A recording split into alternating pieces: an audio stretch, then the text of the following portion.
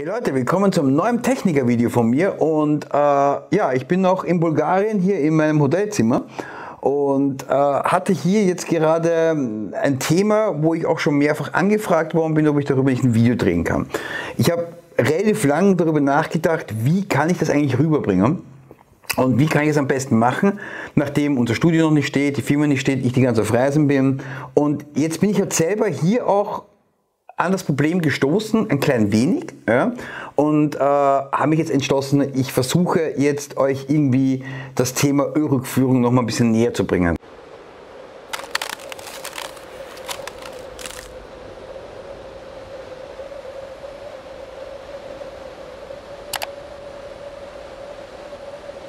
Ich habe ja die ein oder anderen Videos gemacht, ja, schon über Ölabscheider und wie wichtig Ölrückführung ist und bla bla hin und her und auch immer wieder angedeutet, wie das Ganze zum Aussehen hat. Ähm, ich werde jetzt mal mit Punkt 1 anfangen und mein Punkt 1 ist noch einmal ganz kurz zu erklären, warum eigentlich Ölrückführung. Ja. Äh, Ölrückführung brauchen wir äh, relativ einfach ausgedrückt, wir schießen Öl raus. Kommen was wollen. Bei normalen Kompressionsketteanlage, mit, die Öl gefüllt ist, die nur als Kältemittel drin hat, können wir es nicht verhindern, dass das Öl hinauskommt ins System. Das heißt, wir oder unsere Aufgabe als Techniker äh, ist es zu schauen, dass das Öl wieder zurückkommt. So, jetzt gibt Part 1 der Ölabscheider, darüber gibt es ein Video ähm, der natürlich äh, direkt in der Heißgasleitung eingebaut wird. Wir schießen das Öl hinaus, der Ölabscheider absorbiert 80, 90 Prozent, 95 Prozent ja, und schickt das dann nachher über eine Leitung zurück. Daraufhin wird im Nachhinein äh, ein Video kurz eingeblendet oder ich werde nachher noch einmal ein Video drehen, wie das genau ausschaut ähm, mit der Ölrückführung vom Ölabscheider selber. Jo, wir sind jetzt beim Kunden angekommen und das erste, was ich euch zeige, ist einmal Ölabscheider. Ähm, den haben wir hier. Das ist dieses wunderschöne blaue Ding da. Ähm, ja, die Lichtverhältnisse sind leider hier ein bisschen schlecht, aber ich glaube, wir können rüberbringen, was wir so wollen. Wie man sieht, kommen wir direkt aus dem Kompressor raus äh, mit der Heißgasleitung, haben einen Schwingungsdämpfer, danach dieses rote ist Muffler. Äh, der dient auch nochmal Schwingungen, Vibrationen und Geräusche wegzunehmen. Fahren direkt in den Ölabscheider hinein und fahren dann quasi in unseren äh, Verflüssiger hinein. Unten sieht man jetzt quasi eine kleine 10er Leitung, die wieder nochmal reduziert auf eine 6 mm Leitung und das ist dann quasi, wie das dann zurückgeht, direkt in den Kader vom Kompressor. Und damit scheiden wir eigentlich einen Größteil des Öls ab und bringen den direkt zurück zum Kompressor. Ähm, dass da kein Heißgas durchgeht, ist es relativ einfach. Da drin ist ein Sieb drinnen, da tropft das Öl einfach ab. Unten ist ein Schwimmerschalter. Das heißt, erst wenn ein gewisser Stand des Öles da ist, dann macht er auf, lasst ein bisschen Öl durch und dann macht er wieder zu, damit das heiße Kältemittel natürlich nicht in den Kader mit reinkommt. Ja. Nichtsdestotrotz möchte ich ganz ehrlich zugeben, ist, wie ich auch schon gesagt habe, der Ölabscheider absorbiert nicht 100% des Öls. Also ein Teil geht natürlich ins System hinaus und wir haben hier natürlich eine mega Höhe äh, und unser Verdampfer sitzt quasi unten, ähm, ja ungefähr sagen wir mal 8, 9, 10 Meter entfernt circa und ähm, ja, dadurch müssten wir jetzt Ölhebebögen einbauen. Zwar nicht hundertprozentig optimal, weil wir jetzt nicht so viel Material mitgehabt haben oder nicht so viel Material hier haben dafür und auch die Positionierung der Rohrleitung hier etwas suboptimal war, aber wir versuchen natürlich das Beste daraus zu machen und fachgemäß arbeiten zu können. Äh, man sieht es jetzt zum Beispiel in erster Instanz hier. Wir haben hier von unten gesehen dann den Gegensack, ähm, der kommt. Wir haben hier jetzt noch eine ganz leichte Steigung quasi hier drinnen, wo ich sage, okay, damit kann ich aber leben. Und nachher haben wir die Saugleitung nochmal ähm, leicht schräg gemacht, damit sie quasi nochmal schön runterrinnt. Und bei jedem Flüssigkeitsabscheider haben wir ebenfalls einen Sack reingemacht, äh, wenn man raufsteigt zum Flüssigkeitsabscheider, damit es nicht da unten liegen bleibt. Ja? Ähm, die Kunst bei der Anlage war eigentlich hier unten, ähm, ich weiß jetzt nicht, ob man das sehen kann, wenn man da runter filmt, wenn man hier hinunter schaut, sieht man quasi unsere ganzen Säcke Zwischendurch haben wir einen Sprung weg von den Schienen gemacht, weil nach links und nach rechts konnten wir ähm, jetzt nicht so viel ausweichen, dass wir den Sack, was ich normalerweise machen würde, ich würde normalerweise 90 Grad drehen, dass wir seitlich hochfahren und dann wieder retour fahren. Den Platz hatten wir jetzt auch nicht so und es war auch hier nicht so einfach zu montieren. Daraufhin habe ich mich entschieden, es wegzumachen von der Schiene und nachher äh, wieder dazu Schiene zu kommen. Also wir haben hier alle zweieinhalb Meter, das heißt wir haben unten einen, wir haben in der Mitte einen und wir haben oben den Gegensack, äh, haben wir jetzt solche eingebaut. Somit kann ich mir eigentlich ziemlich sicher sein, dass wir hier äh, ja, so gut wie möglich eigentlich äh, das Öl hinaufbekommen. Den Rest zeige ich euch noch mal ganz kurz unten. Das heißt, wir packen sich jetzt hier oben zusammen, gehen runter und dann sehen wir sich gleich wieder. Jo, ähm, hier bin ich wieder. So, äh, ich habe das jetzt mit dem Handy, ich nehme das jetzt hier gerade mit dem Handy auf, weil ähm, ja, ähm, wir gerade da ein bisschen unter Wasser stehen und äh, beim Runtergehen drauf gekommen sind, dass da unten Wasser irgendwie blöd äh, aus dem Ablauf raus. Und äh, jetzt haben wir die Kamera mal und das ganze Equipment lieber ins Sicherheitshaber gebracht und ich bin jetzt hier mit dem Handy und ich probiere das jetzt mal. Ja. So, hier seht ihr, ich musste leider ein bisschen raufkrabbeln dafür. Also hier seht ihr quasi hier auch nochmal einen Sack. Hier fängt von unten an, hier ist ein Gegensack hinauf zu.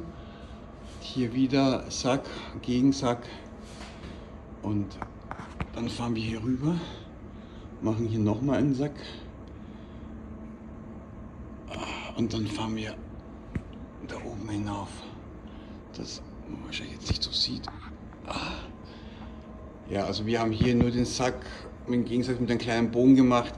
Normalerweise hätte hier ein Sack einfach und gerade weiter gereicht, aber wir hatten, wie gesagt, das war halt genau das Problem, das war schon fertig, diese Teile, und deswegen haben wir uns das dann so entschieden zu machen ja, ein bisschen suboptimal, aber es reicht fürs Öl. Alle Male, sage ich jetzt mal so. Nichtsdestotrotz kommt weiterhin Öl in das System hinaus. Und unsere Aufgabe ist jetzt zu gewährleisten, dass dieses Öl nicht irgendwo hängen bleibt oder irgendwo ähm, sich einfach nicht mehr weiter bewegt und einfach nicht rechtzeitig zu unserem Kompressor zurückkommt.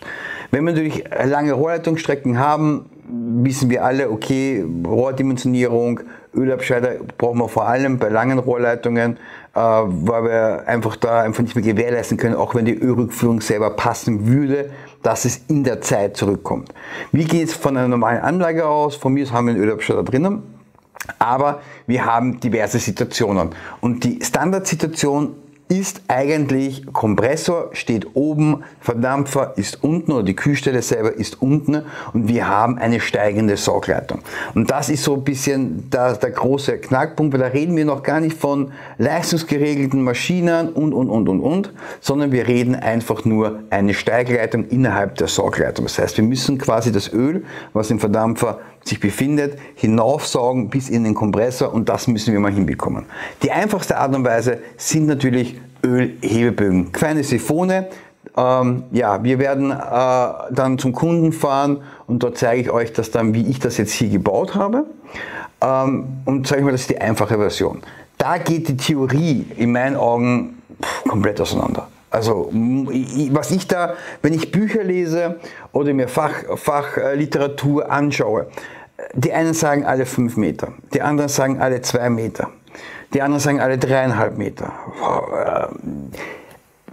Ich kann euch jetzt nur meine Erfahrung geben. Meine Erfahrung liegt bei zweieinhalb Meter, fahre ich am besten. Das heißt, ähm, ich mache meinen 180 Grad Sack nach zweieinhalb Meter ungefähr.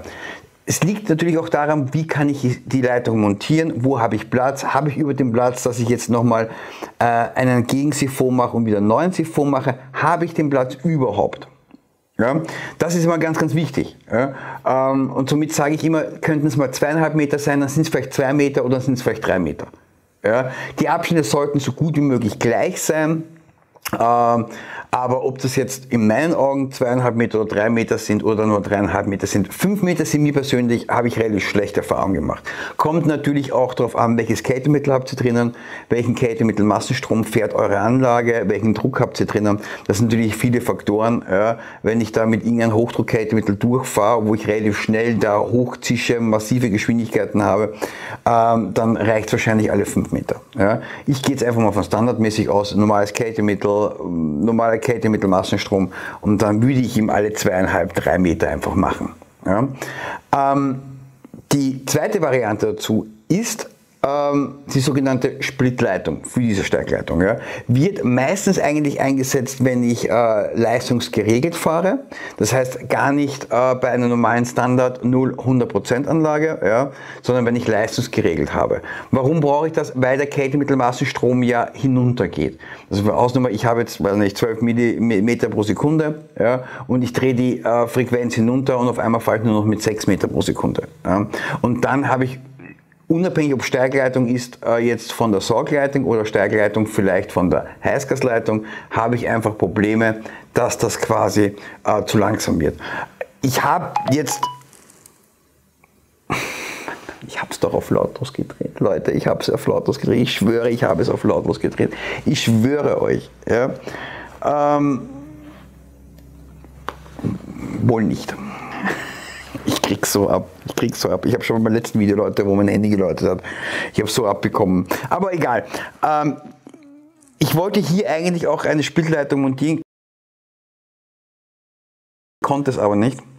Ich habe das Material hier leider nicht gehabt dafür und ähm, will jetzt mal nur ganz kurz erläutern, weil das war halt so mein Grund, wie erkläre ich das am besten. Ja? Ich habe jetzt hier mal auf die Schnelle etwas zusammengebaut, äh, das jetzt ein bisschen nicht so hundertprozentig optimal ist, aber ich sage mal, es, es, deutet das hin, was ich eigentlich sagen möchte.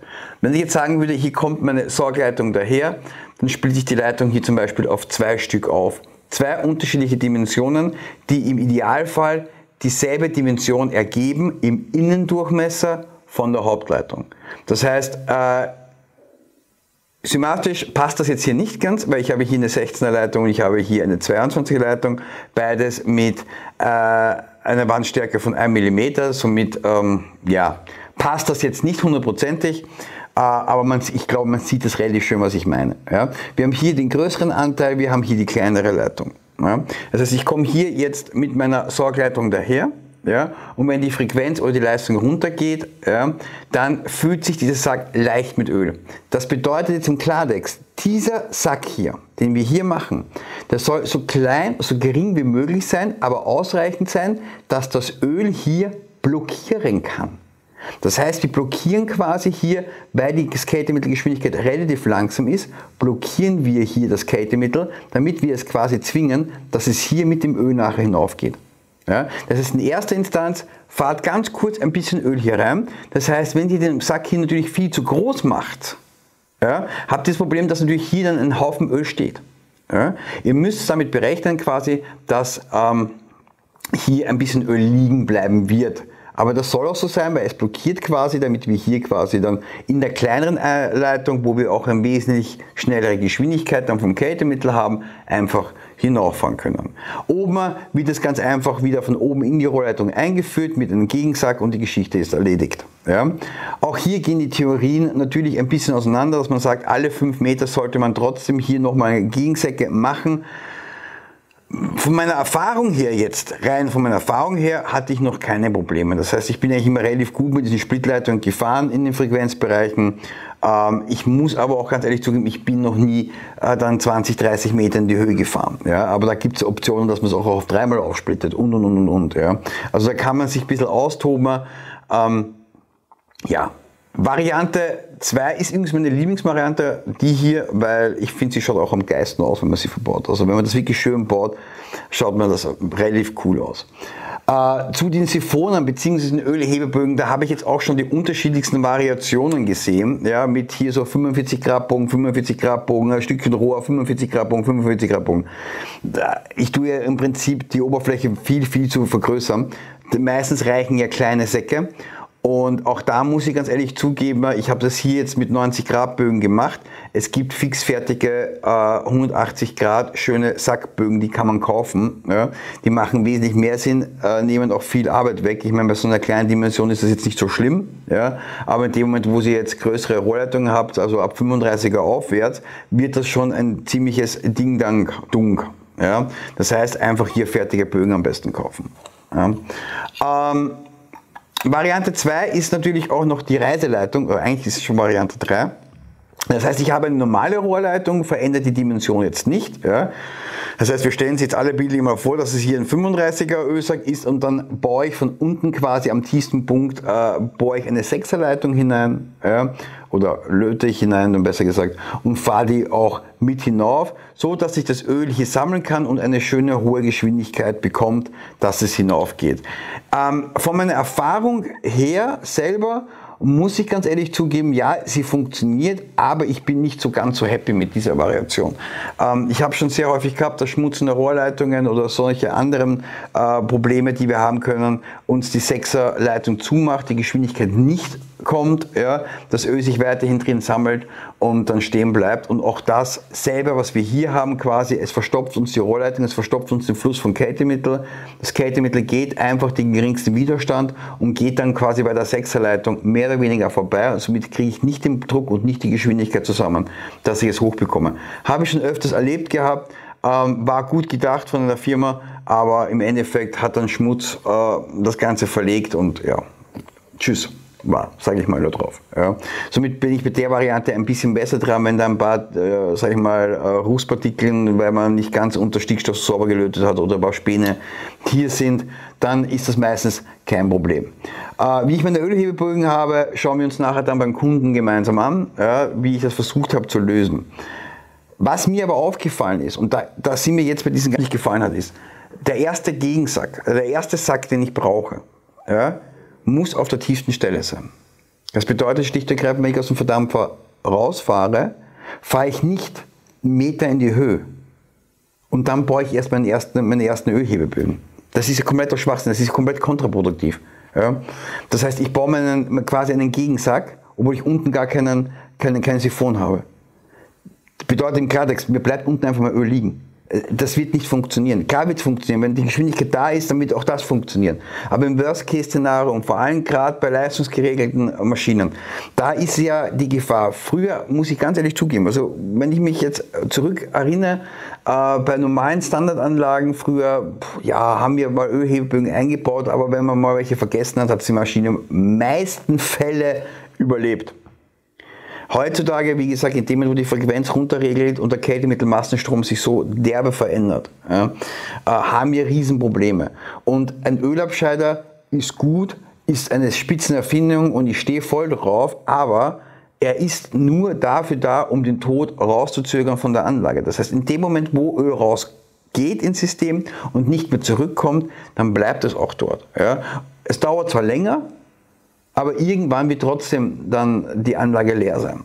Ja, und ähm, ja, wenn ich keine Überwachung habe, haben wir den Kolbenreiber und wenn ich eine Überwachung habe, habe ich dann permanent Öldruckstörungen. Ja, das heißt für mich nochmal in Klartext, äh, überlegt, wenn ihr Rohr verlegt. Ja, es gibt natürlich noch die Variante Sorgleitung, natürlich mit einem Gefälle zum Kompressor und da haben wir wieder Diskussion, naja, wie sieht das aus, bla bla hin und her. Ja, ja sieht manchmal nicht hübsch aus, aber wenn es wirklich der Anlage dient zur Sicherheit, dass wenn man sich nicht hundertprozentig sicher ist, dass man das Öl wirklich zurückkommt, wenn man halt mit so vielen unterschiedlichen Leistungen herumfährt, ja, dann baue ich lieber die Saugerleitung schief, vor allem zum Kompressor schief, nur dazu zu sagen. Ja. Ähm, aber überlegt einfach, wann macht eine Ölrückführung Sinn? Ja, brauche ich sie überhaupt? Ja, wenn ich jetzt den Kompressor äh, neben der Anlage stehen habe und ich habe eine Steigleitung, ja, gehe einmal hinauf und gehe dann noch einmal hinunter, ja, dann haben wir halt quasi das Verhältnis, naja, sie fällt ja nachher eh ab, aber ihr müsst immer überlegen, das Öl muss auch irgendwann da mal, auch wenn es nur Meter ist, er muss dort in die Höhe rauf. Ja? Und wenn ihr mit ruhigem Gewissen sagen könnt, das geht eh, ja, dann tut es. Ja? Und wenn ihr euch unsicher seid, dann baut bitte einen Ölhebebogen ein. Und bitte überlegt auch, wenn ihr welchen baut, wie gesagt, wenn ihr einen Gegensack schon baut und vorher einen Meter hochgestiegen seid, ja, dann habt ihr es zwar gut gemeint, dass ihr nachher überall Ölheberbögen drin habt, ja, aber im Endeffekt habt ihr der Anlage mehr Schaden verursacht, ja, als hättet ihr gar keinen reingemacht, weil er einfach liegen bleibt. Es bleibt einfach auf der tiefsten Stelle unten liegen und kommt einfach nicht in die Höhe. Ja. Und äh, vor allem, wenn es hochkommt, kommt es auch wieder retour. Und dann rinnt es nicht unten in den Sack hinein, ja, wo es sich wieder aufstauen kann, sondern rinnt eigentlich, jetzt in unserem Fall, rinnt wieder rein und rinnt wieder komplett in den Verdampfer rein und bleibt dann dort liegen. Und das Öl bleibt wie Skatemittel dann auch noch auf einem kalten Punkt liegen. Das heißt, wir haben einen vorgefüllten Verdampfer dann mit Öl ja, und dann müssen wir wirklich einmal schauen, wie wir die ganze Sache rausbekommen.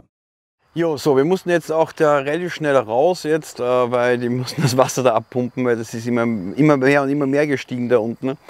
Ähm, ja, haben die Aufnahme jetzt nicht so funktioniert, wie ich mir es vorgestellt habe, aber ich hoffe, ich konnte euch zumindest ein bisschen erklären äh, bezüglich Ölhebebögen. Äh, was ich vorher kurz gezeigt habe, dass eine, die Leitung, die rübergeht, ist halt ein bisschen suboptimal gebaut worden, aber es dient ihrem Zweck und wir werden das Öl auch dadurch ohne Probleme zurückbekommen.